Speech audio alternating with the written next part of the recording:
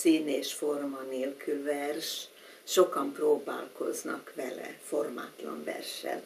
Nekem nem tetszik. Még a szabad versnek is van formája valamilyen. Na most, mivel képekről van szó, tehát nagyon be kell avatnunk a testvérművészeteket, a képzőművészeteket és a zenét.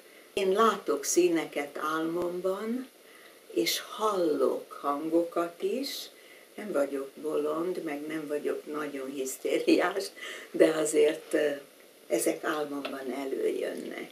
És akkor meg kell őket fejtenem, és nem mindig tudom, sőt, nagyon ritkán tudom megfejteni. Szeretem Raffaellót, szeretem a preraffaelitákat. Kedvenc ír költőim szerették nagyon a preraffaelita festészetet.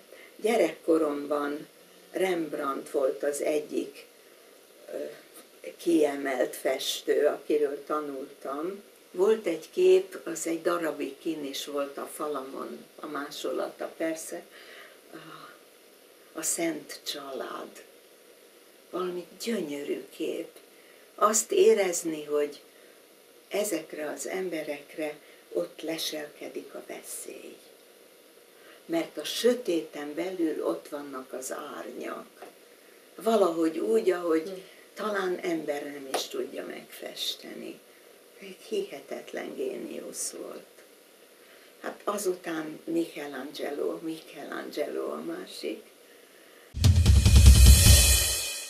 11 éves voltam én, 45 telén, hazamentünk Endrődre, ott találkozott a családból, aki élve maradt, és elhatároztuk, hogy bemegyünk Szegedre, hogy ott komolyabb az iskoláztatás talán. És ott tanultam erről a kevéssé ismert finn festőről, Gallén Kallelláról. Egyik képe, hát majd megőrültem tőle, annyira tetszett, és azóta is tudod, néha előveszem és nézem. Az a címe, hogy akkor így tanultam, hogy Kullervó esküje. De nem esküje, hanem átka, biztos egy angol albumból fordították, és angolul az oath, az eskü is, meg átok is. Ugye, mint kisgyerek szokva voltam ahhoz, hogy szép, nyugodt csendéleteket látok. Szóval ez volt az első ilyen kép. Nem nagyon vannak olajképeim, csak egy-kettő van, mert amikor a lakást vettem, akkor nagyon kevés pénzem volt, és viszont igyekeztem azon, hogy minél több kép legyen a falon.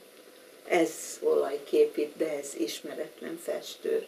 Azért vettem meg, mert hajót ábrázol.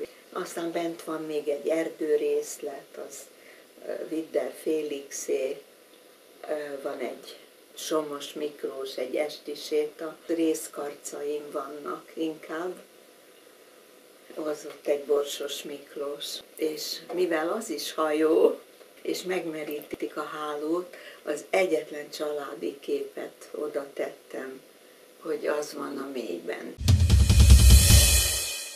E-mailezek, mert muszáj.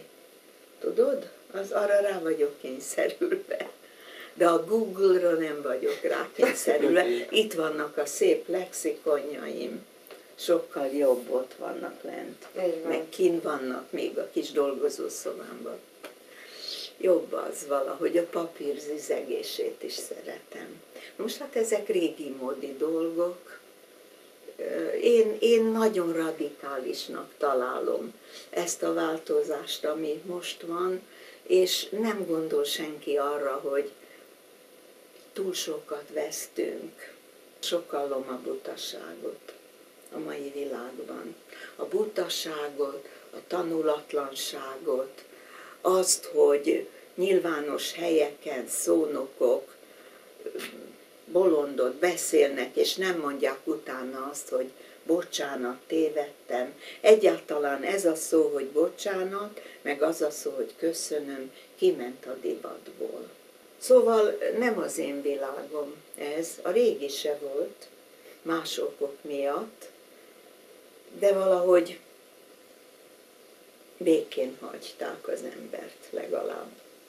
Hát legalábbis 62-től, amikor véget értek a kivégzések, meg a bosszú.